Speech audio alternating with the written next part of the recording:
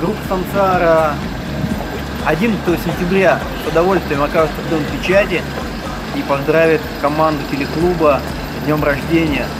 Увидимся 11 числа в Дом печати.